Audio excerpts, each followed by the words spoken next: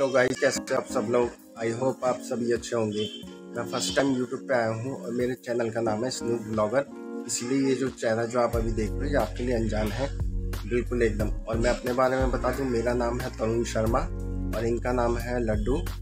ठीक है? और बाकी ये जो वीडियो मैं कैसे शूट कर रहा हूँ, मेरे पास कोई सेल्फी स्टिक नहीं है, कोई गिम्बल नहीं है और कोई इक्विपमेंट नहीं है।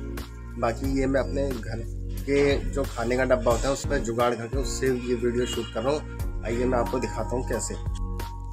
ये देखो दोस्तों ये एक स्टैंड का भी काम करता है और अगर हम इसको हाथ में उठा के वीडियो बनाना चाहें ठीक है इसको हम अंदर हम आसानी से फ़ोन लगा सकते हैं। अब ये देखिए ये देखिए।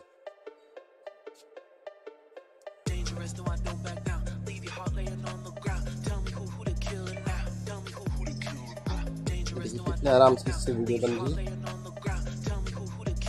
मैं इसको ऊपर करना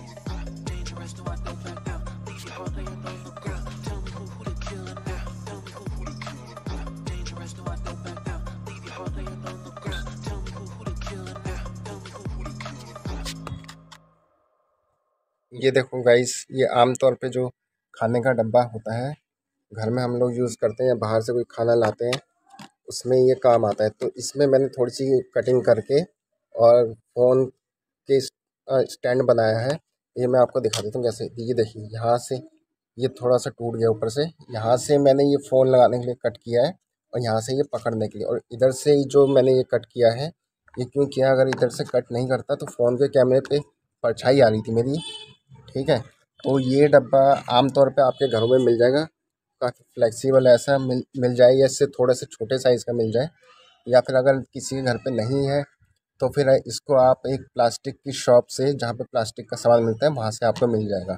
तो इस तरीके से कटिंग करके जब तक आपके पास कोई सेल्फी स्टिक या गिम्बल नहीं आ जाता, आप इसको यूज़ कर सकते हैं।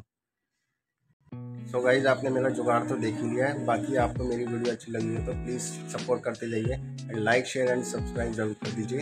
और बाकी ये जो आप अभी पीछे पौधे देख रहे हो, ये मैं अपने घर की छत पे आके शूट कर रहा हूँ। आइए आपको दिखाता हूँ।